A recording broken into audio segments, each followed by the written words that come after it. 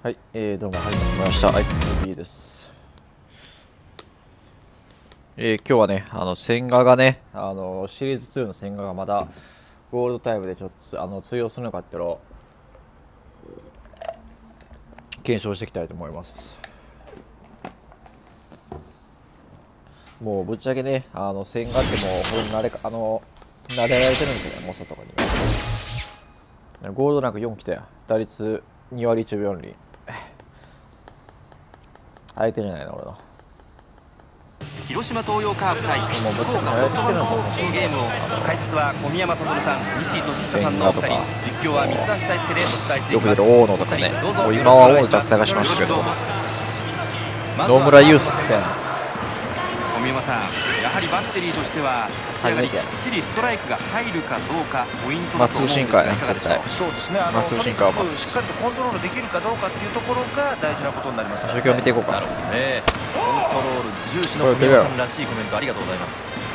これが2球目。いいボールが行きましたね。そうですねキレのある変化球際どいところに決めてきました。アウトロー外れますまっすぐや。内へ低めに変化しました。引っまっすぐや。張った。え？バッターは2番に入っている村上。野村まずは先頭バッターを打ち取っています。初球ボール。次はまっすぐやな。今のはよく見ましたね。はい。ストレートわずかに外れてボール。ボール先行です。打ちました。いい当たりだ。伸びていく。どうだ？入れば先制。さあ4球目は何か？今のはよく見ましたね。膝元変化球がわずかに外れています。打ちました。バッターボックス吉田。飛ばんや前。ツーアウトになっています。マウンド上のピッチャーは野村。そしてキャッチャーは森。このバッテリーをホークス打線が引っ張った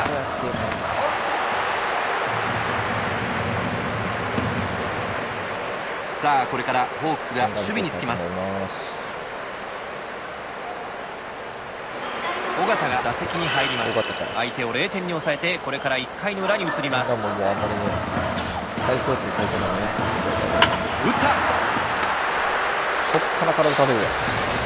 バッターは2番に入っている堂林。ヒットでランナーを一塁に置いています。インサイド落ちましたさあそして打席には王が入ります。さあ。先制のランナーを得点圏に背負います。まあここはしっかり切り抜けて主導権を握られないよ。うインサイド落ちました。さあそしてバッターボックスには鈴木が入っています。さあアウトカウントが1つ増えましたが得点圏にはランナーが残っています。まあここもしっかり抑えて選手権を与えないようにしたいですね。なるほど。そうですよね。ライト方向流しましたさあそして打席には柳田が入ります。さあツーアウトながらピンチは続きます。まあ先ほどのアウトで流れを渡しませんでしたから、打ちました。よいやー、それ危ないですね、ちょっとね。2回表に入ります。ホークスの攻撃。バッターボックスには4番坂本。ホークス得点に動きはありません。0対0で迎える最後の攻撃です。西さんこの場面はどうしても出塁しなければなりませんね。うんまあここはね確実に行きたいですよね。さあまずは先頭バッターを出していきたい。打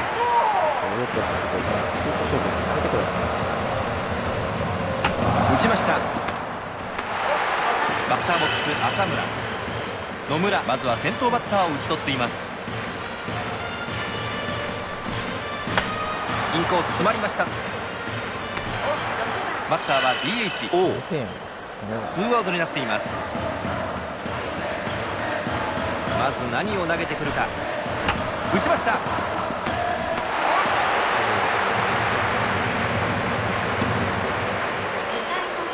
回の裏カープの攻撃。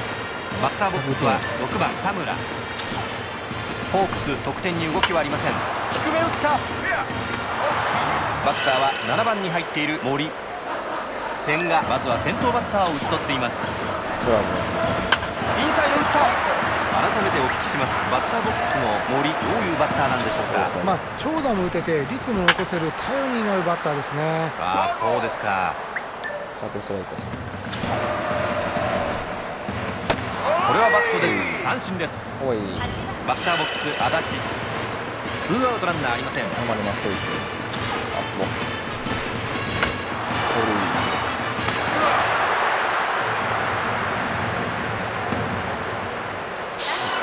3回に入ります。7番から始まるホークスの攻撃。打順は下位打線に入っていきます。バッターはビシエド。牛ホークス得点に動きはありません。0対0で迎える最後の攻撃です。変化球打っていった。かほらタイミング重要ですバッティングは。バッティングはタイミングと壁。壁作らなきゃ壁を。初球は何から入ってくるか。これは？改めてお聞きしますがこの糸井どういうバッティングスタイルなのでしょうか？まあそうですね。状況によって変わりますがもともとはフルスイングが新庄の強打のバッターです彼ねそうですか。高めいっぱいに決まりました。ワンボールツーストライクと追い込んでいます。さあどのように料理していくか。左中間へおいホークス小宮山さん犠牲フライを防ぐような配球というのはあるんですか？中途半端止まらんで。カープピッチャーが変わります。マウンドに上がるのは？打ち出したら止まらんで。なんしこのボールは見送るのが精一杯。ストライクです。さあ2球目は何か？インコースこれは外れます。変化球打った。いいよクそれでいいそれでいい1点大事にしていこう。スさあまず1球目。これではバットが出ません。ストライクです。見ていこう見ていこう。変化球打った。さあそしてバッターボックスには村上が入っています。さあツーアウトにはなりましたがなおもチャンスは続きます。まあここでの追加点は相手へのダメージも大きいですからなんとか得点に結びつけたいですね。うんなるほど。そうですね。外へのスライダー。ここは見極めています。高め際どいところ見送りましたがストライクです。際どい球わずかに外れています。スリーボールになりました。打ち上げました